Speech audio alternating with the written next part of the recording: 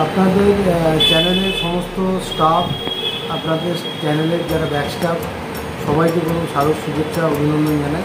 এবং আপনাদের এই চ্যানেলের মাধ্যমে দুর্গাপুরের সমস্ত নাগরিক, আমাদের জেলার সমস্ত নাগরিক, তাদের স্মারক শুভেচ্ছা, অভিনন্দন এবং প্রণাম জানাই।